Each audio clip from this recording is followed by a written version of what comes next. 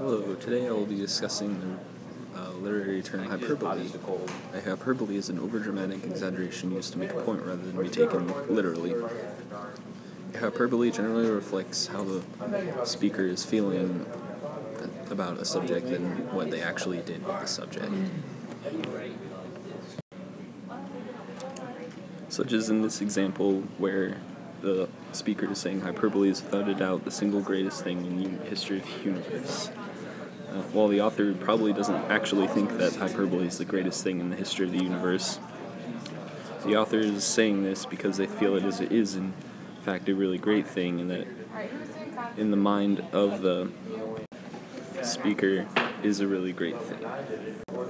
An example of a hyperbole would be I spent 100 hours doing homework last night. This is an example of an over-exaggeration because you couldn't possibly spend 100 hours doing homework in one night. It does, however, reflect how the speaker is feeling about the amount of homework that they had. They feel that they had been doing homework for a very long time. Another example of a hyperbole would be that it was so cold that I saw penguins wearing coats on my way to school today. This is an example of an exaggeration because it's more than likely that you did not see penguins and that they weren't wearing coats. Penguins don't normally wear coats to protect against cold, but you are making a statement that says it was very cold.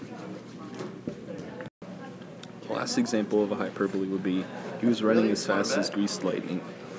This is a commonly used phrase that means that he was running very fast, although it does not mean he was running as fast as the car of greased lightning. Person was using this as an example to show that the person was running extremely fast and possibly in the mind of the speaker as fast as a car.